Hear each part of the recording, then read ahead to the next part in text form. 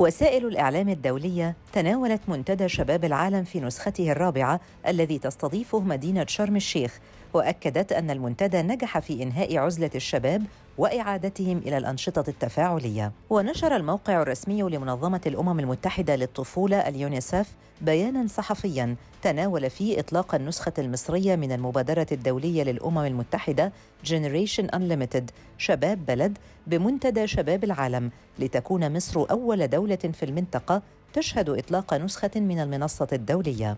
وركز الإعلام العربي على العديد من الموضوعات حيث نشرت صحيفة التيار السودانية مقالا كتبه صلاح غريبة تحت عنوان منتدى شباب العالم وسياحة المؤتمرات.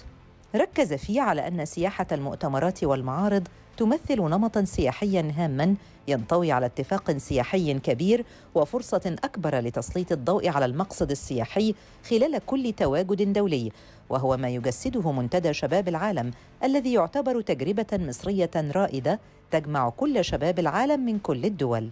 وتناولت صحيفة الشرق الأوسط تصريحات الرئيس عبد الفتاح السيسي حول حقوق الإنسان التي قال فيها إن الجهود المتعلقة بحقوق الإنسان وعدم التمييز لم تقدم عليها مصر تحت أي نوع من أنواع الضغوط بل في ضوء المعتقدات والأفكار التي تؤمن بها. وذكرت صحيفة الأنباء الكويتية أن الرئيس السيسي قال إن مصر نجت من الخراب والدمار الذي استهدف المنطقة العربية مشيرا إلى أن جائحة كورونا لم تعطي فرصة للدول في التعامل معها. إلا من خلال فرض إجراءات وقيود وأن هذه الإجراءات التي صاحبتها كانت كاشفة لقضية حقوق الإنسان وأوردت صحيفة الخليج الإماراتية دعوة الرئيس عبد الفتاح السيسي إلى التعامل مع قضية حقوق الإنسان من المنظور الشامل خاصة في ظل العديد من التحديات التي تحيط بالدول، محذرا من التخريب الذي تتعرض له الدول من خلال التآمر، ومطالبا بعدم التدخل الخارجي في الشؤون الداخلية للدول بهدف تخريبها. كما أكد أن مصر نجت من هذا التخريب الذي كان يستهدفها لكن دولا أخرى لحق بها الضرر وسقطت في الخراب والدمار الذي طال كل حقوق الإنسان. صحيفة واشنطن بوست نقلت عن الأسوشيتد بريس أن الرئيس عبد الفتاح السيسي قال إن مصر تستضيف ما لا يقل عن ستة ملايين شخص فروا من الصراع والفقر في بلادهم. مضيفا أن حكومته على عكس بعض البلدان الأخرى لا تحتجز المهاجرين في مخيمات للاجئين لكنها تسمح لهم بالعيش بحرية في المجتمع.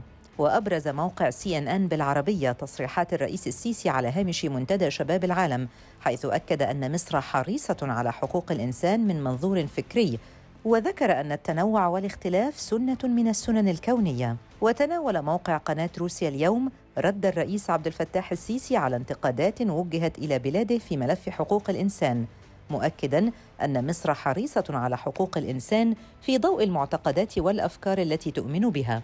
وأبرز موقع شبكة بي بي سي عربي فعاليات منتدى شباب العالم في نسخته الرابعة في منتجع شرم الشيخ.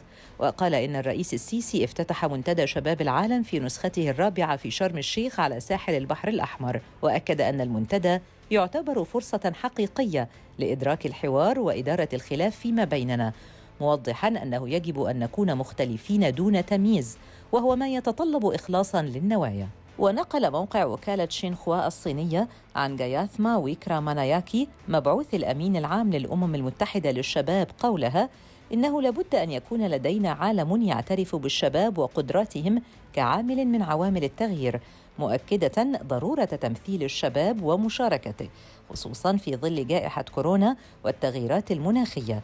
ولفتت مبعوث الأمم المتحدة الانتباه إلى أن أكثر من نصف سكان العالم دون سن الثلاثين عاماً وهي أعظم مرحلة نستطيع من خلالها تحقيق التنمية المستدامة.